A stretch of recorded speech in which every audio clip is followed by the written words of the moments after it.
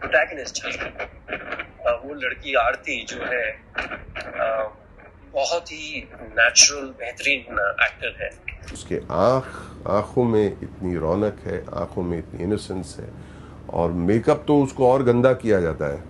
और यहाँ पे पट्टियाँ हैं और क्या क्या है और गंदगी है, लेकिन उस सब गंदगी में और वो सब मैल में और सब खून और सब बैंडेजेस में इतनी खूबसूरत है ये लड़की, इसलिए कि वो समझ रही है कि वो क्या कर रही है। उसमें अकल भी है और मासूमियत भी है और वो बहुत कमाल का कॉम्बिनेशन है। उसकी आँखें सुपर एक्सप्रेसिव हैं। सिनेमा के लिए एकदम मेड टू ऑर्डर आँखें हैं। उसकी फेस के अंदर भी एक सिनेमैटिक बात है। वो अपने फेस को बहुत ज़्यादा एक्सप्रेसिव नहीं बनाती है, लेकिन बिना वो कोशिश किए उसकी फेस बहुत सारी बातें कह जाती है। मेरे ख्याल से एक हफ़्ते के अंदर वो सिनेमा के बारीकियों को उसने पकड़ लिया है।